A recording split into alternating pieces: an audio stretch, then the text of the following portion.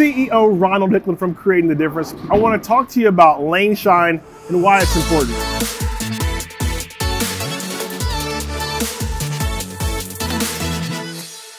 So a lot of times people assume that the lane shine or the bowling ball changing surface actually happens from the lane. Actually what happens is the bowling ball has to go through all of the systems to come back to you. The ball return, the carpet, the accelerator, all of those frictions creates friction on the bowling ball. That friction ultimately ends up making the bowling ball change the surface from wherever you started to, to a final surface where it's gonna lane shine. What I wanna do is I wanna talk to you a little bit about how we did a test to kind of prove that. We took a bowling ball and we actually just threw it in the back of the lane. We never let it hit the lane. As a result of doing that, we were able to capture roughly about a game worth of shots we were able to get the surface of the bowling ball before and now.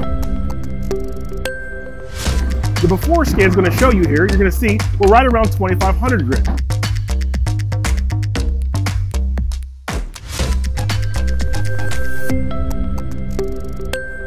Now we're gonna take the bowling ball that we just got back from the last shot and we're gonna take a scan and see what it is right now.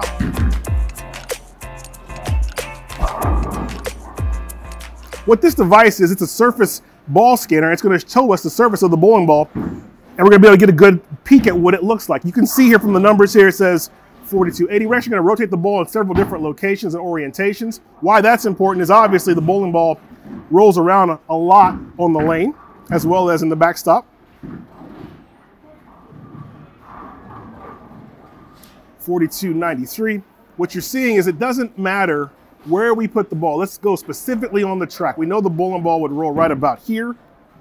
So we'll go right there in the track.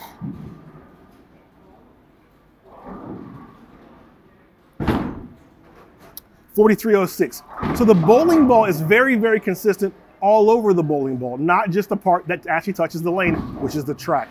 Now you say, well, that's great, but then what can I do about that? So there's two things that you could do to help mitigate or, or minimize the impact of lane shine. The first thing you want to do is clean your bowling ball because if you don't clean your bowling ball, it's going to get dirty and that dirt's going to negatively impact your reaction. We're actually going to take the bowling ball here. I'm going to show you that. We've got a brand new pad, nice and clean.